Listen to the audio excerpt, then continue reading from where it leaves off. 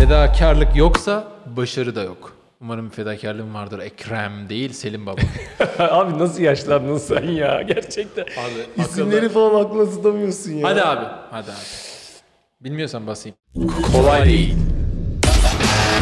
Yolda herkese vardı.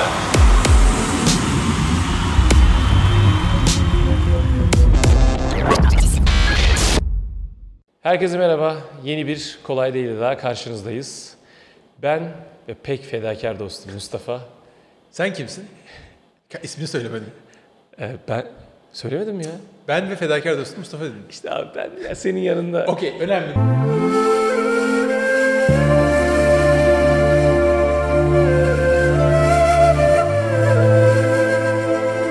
Mustafa ve Mustafa ile fedakarlık Zaten yoksa- genelde bölümler Mustafa ve Mustafa üzerine geçiyor.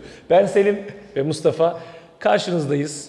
Bugün fedakarlıktan bahsedeceğiz. fedakarlık yoksa başarı da yok diyorum ben. Sen ne diyorsun? Buna yüzde yüz katılıyorum. Bak başarı için başka parametreler de gerekir. Evet. Ama fedakarlık e, önemlidir. Başla abi başla. Fedakarlık bana bir saysana Allah aşkına. Selim atıp tutuyoruz da abi. Bana bir söyle ya. Ne fedakarlık yaptın şu işlerle ilgili? Başla abi. Ya mesela çek verdiğim oldu. Bip falan gelir buna neyse. Abi trollüyor. Yok öyle bir şey. Büyük fedakarlıklar. Biraz aldın en azından. Ya şöyle, ben benim hayatımda bizim bir aile şirketimiz var. ne oldu oğlum? Bunda komik ne var? Bizim çanta işimiz bir aile şirketi, Tuğba Çanta. Burada benim ortaklığım dururken ve aktif olarak çalışırken ben bir müsaade istedim ve kendi reklam ajansımı açtım.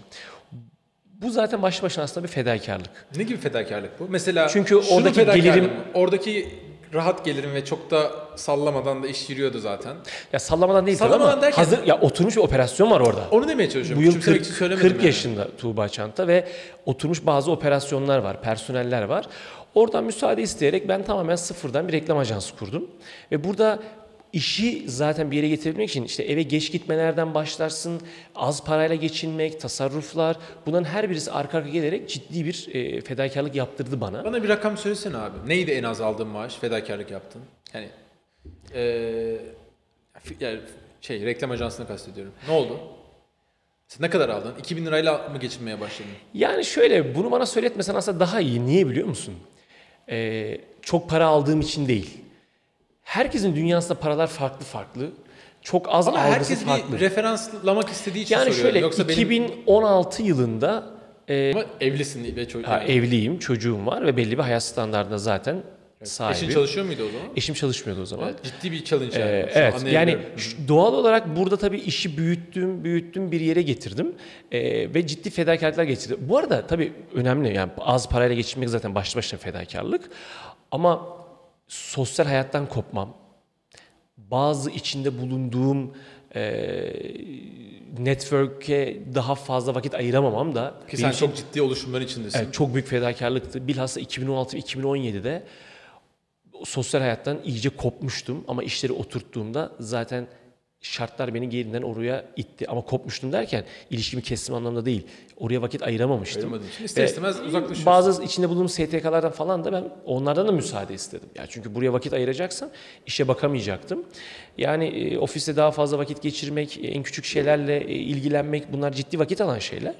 E, ben ya böyle bir fedakarlıkla ama şükürler olsun ki işi oturttuk ve sistem ilerliyor yani. Ya bunların içinde peki yaptığım en büyük fedakarlık şuydu ve başarıyı da şu getirdi diyeceğim bir şey var mı? Bir spesifik örnek. Ee, benim için başarıyı getiren şey benim odaklanmam, konsantrasyonumdu. Yani ben mesela böyle bir girişime girdiğimde e, dedim ya biraz önce şu STK'da da olayım, orada da görev alayım falan. Yok bunların hepsine başta karar verdim.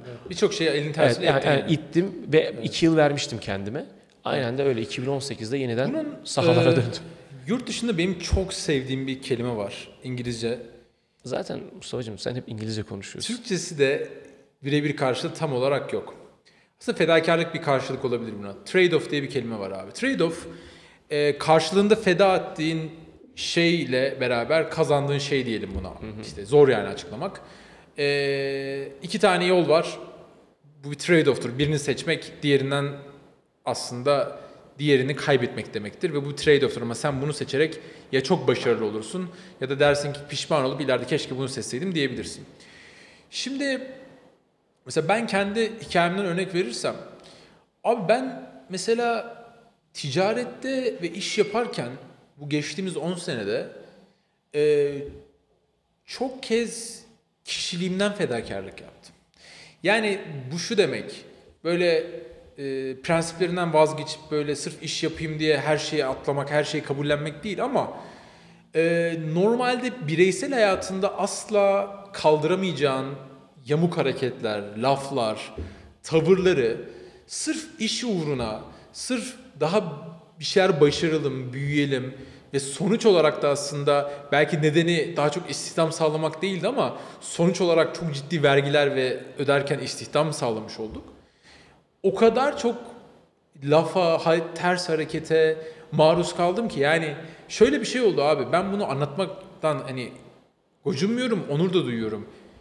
Ben 2013-14'lerde Ankara'dan otobüse binerdim. İstanbul'da bir toplantıya gitmek için ve dandik bir kırtasiyeye 2-3 bin liralık satış yapacağım diye otobüse binerdim böyle inerdim sabah 6'da 7'de Ankara'ya Ank İstanbul'a dolmuşa binerdim ve şey falan yok yani böyle benim yetişme tarzımda şey yok yani hani oradan ineyim taksiye bineyim taksiyle oraya gideyim falan yok yani dolmuşa binerdim inerdim oradan yürürdüm ve hiç unutmam ee, bir gün bir toplantıya gittim böyle ikide falan toplantı ee, hatta e, Bostancı taraflarındaydı. Hatta Kozyatağı taraflarında özür dilerim. Ya kırtasiyeye gittim. Tam toplantıyı bekliyorum. Sekreter ne dedi biliyor musun bana? İşte falanca bey bugün canı sıkkın yarın gelsin diyor sizin için diyor. Dedim. Böyle, böyle mi söyledi? Canı sıkkın mı? Canı sıkkın. Yarın gel. Yarın gelmezi rica ediyor dedi. Abi şey demedim biliyor musun? Ankara'dan geldim falan filan. Abi içimdeki fırtınaları şu an bile hissedebiliyorum. Peki gerek var mıydı bu kadar fedakarlığa? Abi Or, yani bu duruma bile kafa tutmayacak kadar abi yaptım ben bunları. Abi bunları yapmasaydım şu an geldiğim noktada olamazdım biliyor musun? o yalıya sahip olamaz mıydın? Bunları yapmasaydın. Abi her şeyi disclose etmeyelim. Gözü yükseklerde ama bir o kadar masum. Abi bak sen şu an inanamadın değil mi buna yani? Hani Şansım varsa ben ona talibim. belki beni şu an tanıyan bir insan olarak Bana bu kadar fazla geldi ya. Sana fazla geldi bak. Hatta beni yakın çevremde yakın çemberde tanıyan insanlar için Mustafa kabul edilemez bir şey ya. Bunu yapan adamı yani dükkanı başına yıkmam lazım. Yani sen kimsin ve o zaman ben abi şeyi sorgu benim o zaman da burada çok şükür paraya ihtiyacım vallahi yoktu yani. O zaman abi hayatı sorguladım. Niye o gün İstanbul'da olduğumu, niye o işi yapmaya çalıştığımı, e, niye yazılım okumama, babam yazılımcı olmasına ve yazılımda çok da zamanda iyi paralar kazanırken bırakıp da bu ticaretle 2000 liralık malı satmak için uğraştığımı ve o kadar çok şeyi sorguladım ve ondan sonra ne dedim biliyor musun? Hayır abi. Ben bunların üstesinden geleceğim. Bu fedakarlıkları yapacağım. Gereksiz gururlara kapılmayacağım. Aa ben şöyleyim, bana kim böyle yapabilir gibi. Hiç de sevmem böyle gereksiz, onurlu, gururlu insanları. Bu haysiyetsiz olalım demiyorum ben yani. Ama abicim bu e, tür yemeden, yani yeme derken yaş yemeği kastediyorum. yiyip sindirmeden böyle başarılı olmayı şöyle böyle yaptım diyenler var ya bunların hepsini atacaksın ha. Bunlar şey değil. Geçici başarılar yani. Bu arada Şans eseri, tesadüfi başarılar. O yüzden ben abi bunları ları yemiş sindirmiş bir insan olarak e, istersen biple ekran şey değilim abi. Ya yıkamazsın ki beni artık yani. Umurumda bile değil yani o yüzden. Ya bu bu arada verdiğim örnek çok ufak örnekler. bu arada bir şey söyleyeceğim. Az parayla geçinmek e, insana çok şey öğretiyor. Kesinlikle. Üniversite gibi çok çok şey görüyorsun. E, hiç hayatında te- tecrübe etmediğin şeyleri tecrübe ediyorsun. Ama e, bu tür fedakarlıklar e, insanın daha hızlı büyümesine sebep oluyor. Anlattığın gibi şeyler. Abi sinir Evet. e, sisteminin kaslanmasına sebep oluyor. Çünkü şöyle e, sadece parayla fedakarlık ederek bir şey kazanamayacağını ben de şöyle örnek vereyim. Şimdi bizim Çin'le çok sıkı işlerimiz vardı bilhassa geçmişte. Hala devam ediyor tabii üretimler falan. Ben mesela en büyük fedakarlıkların bir tanesi Yani ailemden kopup bir 20 gün kadar Çin'de kalmak. Bu e, 20 gün kulağa çok az geliyor ama Çin'in o üretim yerlerinde kalmak olağanüstü bir e, sıkıntı. Önce bir işte aile hasreti ayrı bir konu, bir de oradaki yoğunluk ve yorgunluk.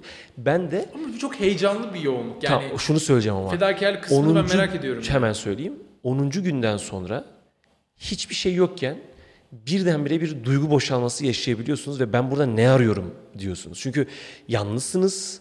E, yan, etrafınızda bambaşka kültürden insanlar var.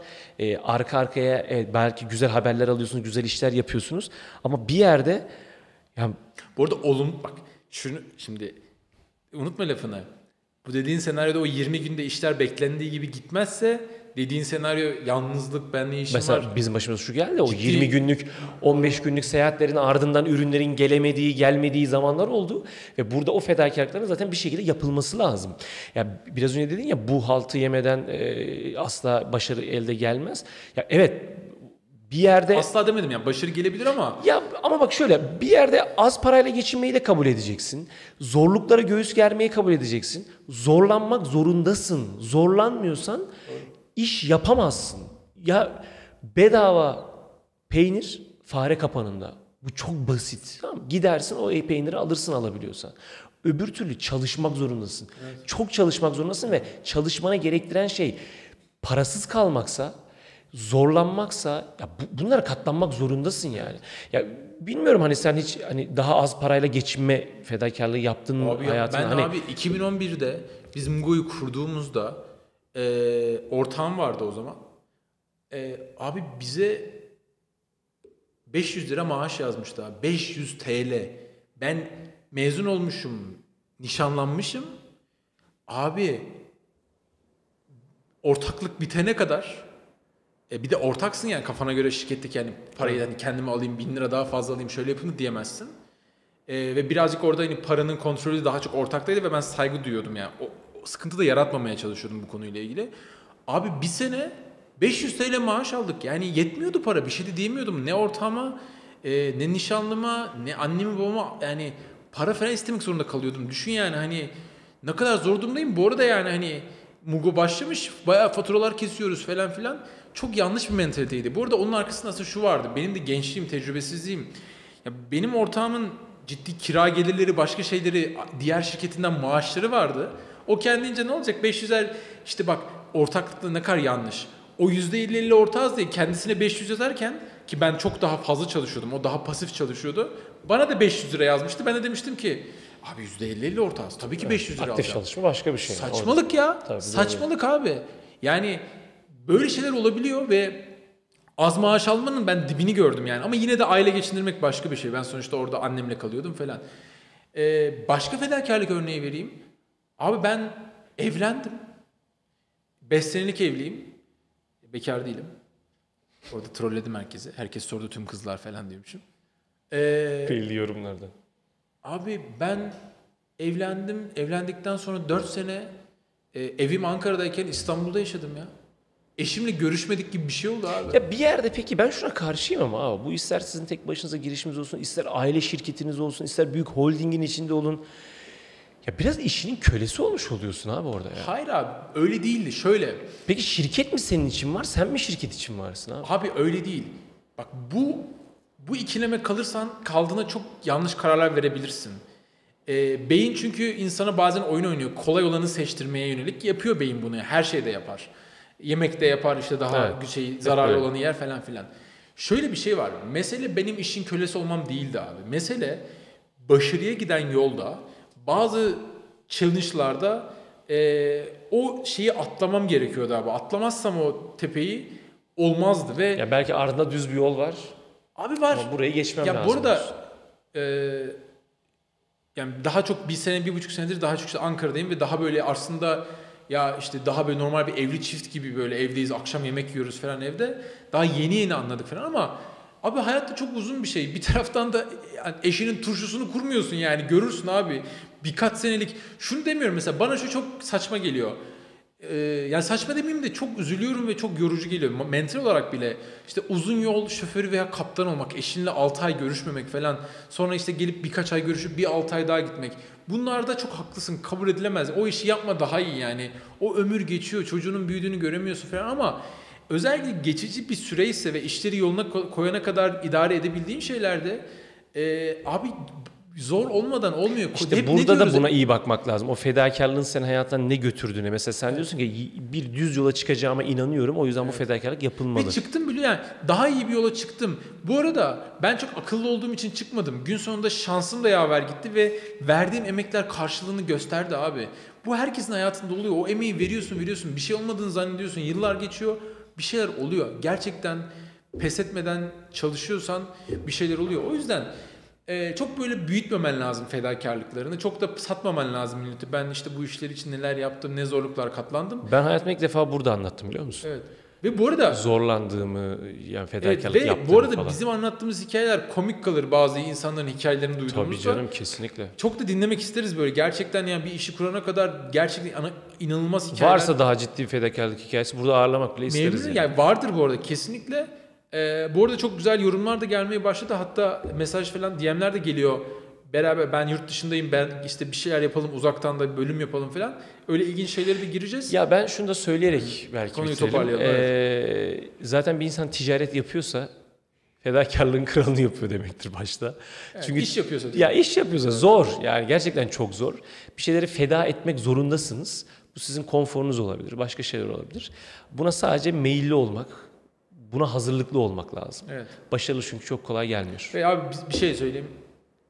Girişimci olacaksan ve başarılı olacaksan seni öldürmeyen şey güçlendirecek. Nietzsche. Bir ayağını bir şey çelme takacak düşeceksin ama kalkacaksın bir daha da düşeceksin. Sonra ayakta yürümeyi sonra koşmayı öğreniyorsun diyerek. e, Nietzsche'ye de buradan saygı ve selamlarımızı iletelim.